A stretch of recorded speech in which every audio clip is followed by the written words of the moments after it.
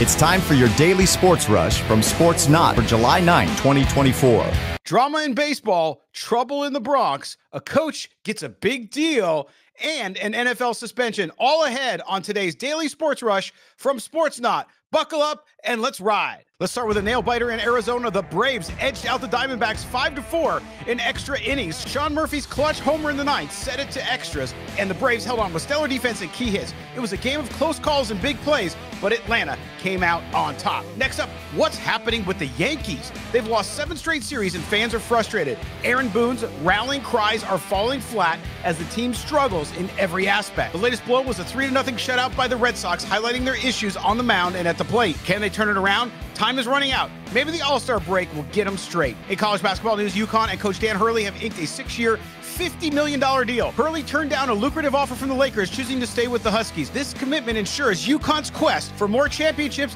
and solidifies Hurley's legacy with the team. Fans are thrilled with this news, seeing a bright future ahead for the Huskies. Finally, the NFL suspended Steelers safety Cam Sutton for eight games due to violating the league's personal conduct policy. Sutton's involvement in domestic violence dispute has led to his significant suspension, impacting the Steelers defense as they prepare for the upcoming season. All right, that's all for today's Sports Rush. I'm Scott Branson. We'll see you right back here tomorrow.